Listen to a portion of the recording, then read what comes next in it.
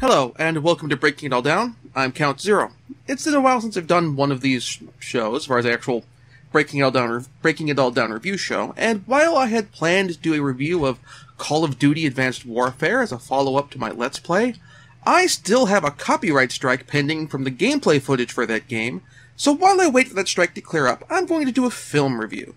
And in particular, a review of a film that I've been meaning to review since last year, but hadn't got around to doing because of my senior project. Also, it's in a genre I've done prose reviews of on my blog, but not video reviews, specifically documentaries. That film is The Ackermonster Chronicles. Now, I should say, in accordance with Federal Trade Commission regulations, I received a copy of this film for purposes of review directly from someone involved in the making of the film, along with the studio's other documentary, which I will review at a later date. I received these copies at no cost for purposes of review, and I have received no compensation or other incentive, one way or another, related to my opinion on the review.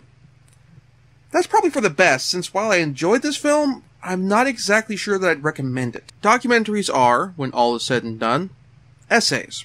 They can be informational, persuasive, or both. Generally, they need to hit three important beats. What happened? Why did it happen? Why should the audience care? Those can be in any order, and the why should they care part can be anything from a call to action, like with an inconvenient truth, or just an idea about how cool this thing is or was, like with Man on Wire, or the impact a thing has had, like Ken Burns' National Parks America's Best Idea.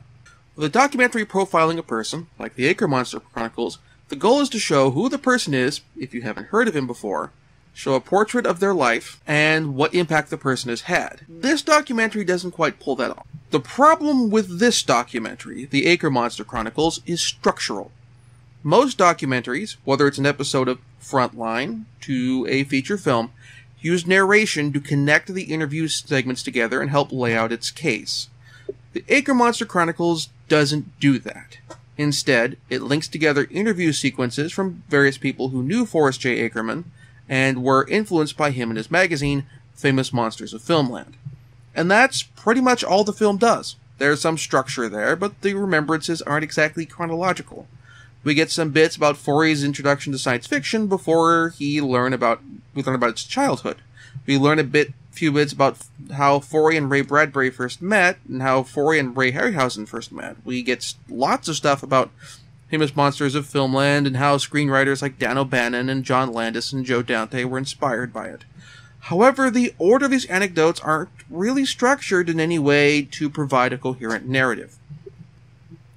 I describe it like going to the birthday party of a person with a bunch of great friends and hearing stories about the person.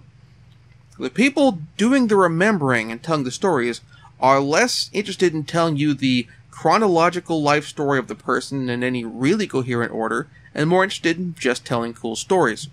Between the interviews with Forry himself, along with the various people who were friends of the Ackermonster or influenced by him and his work, you get the vibe that each story has a kind of unspoken preface of, hey, what about that time when? Now, when you're being brought to the birthday party of someone you don't know by a friend, you don't need to know who is this guy in advance. You're already two degrees removed.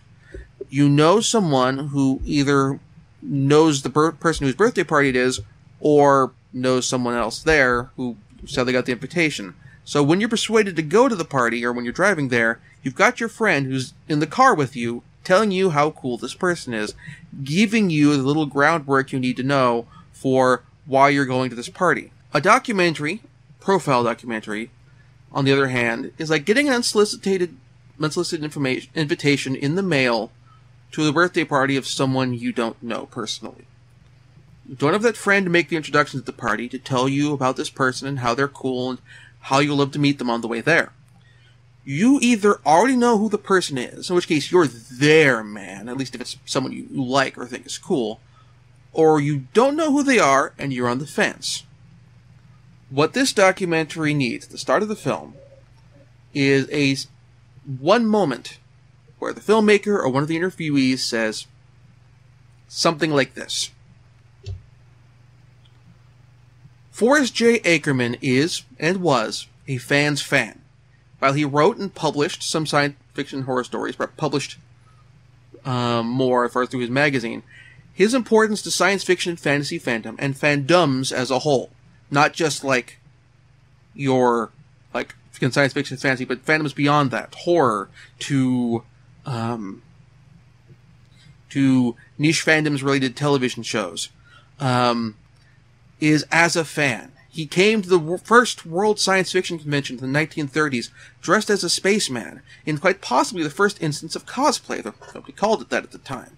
He was close friends with one of the greatest science fiction writers of the 20th century, Ray Bradbury, and one of the greatest film directors and special effects artists of the 20th century, Ray Harryhausen, and the two met each other through Forry.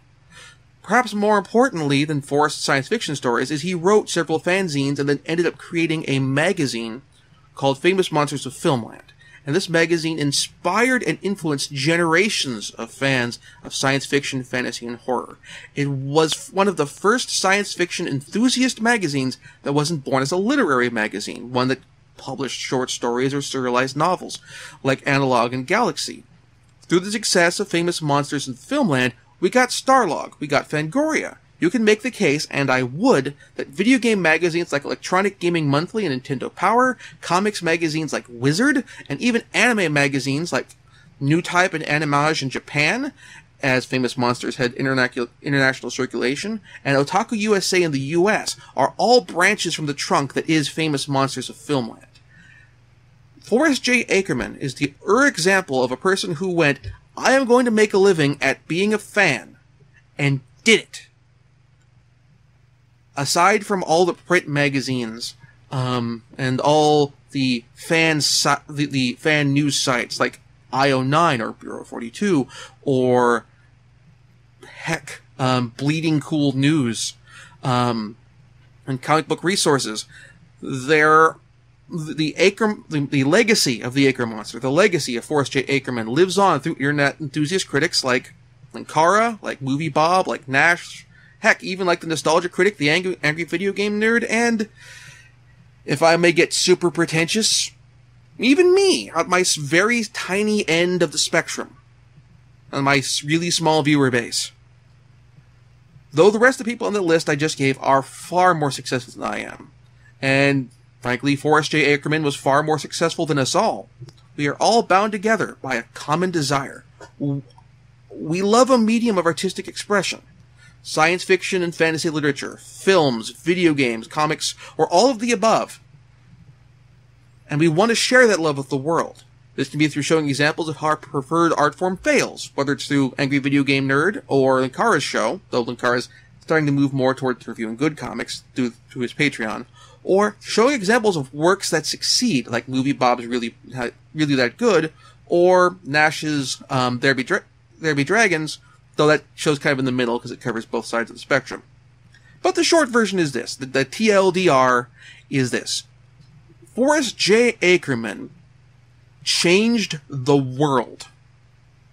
Not by creating a cancer cure, not by a big scientific discovery, but by changing the way people interact with fan with, with with art, by changing who's writing about art, and in a way opening it up to a whole new market of people. That you don't have to be a film critic at a major newspaper to write or criticize film.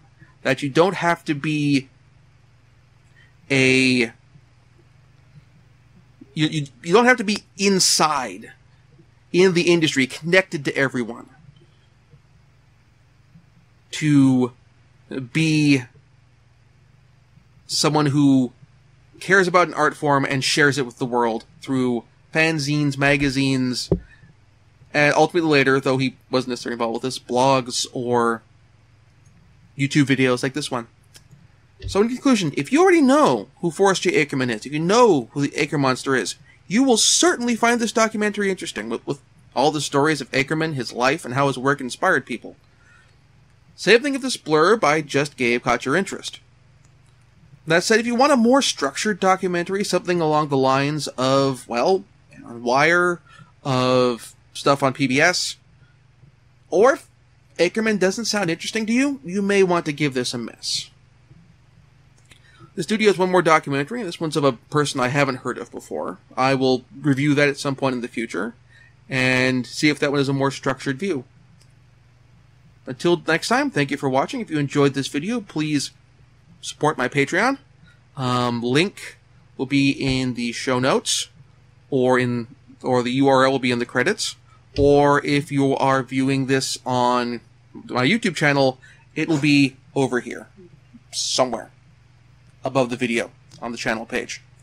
Um, there'll also be a pledge link as well, direct donation link.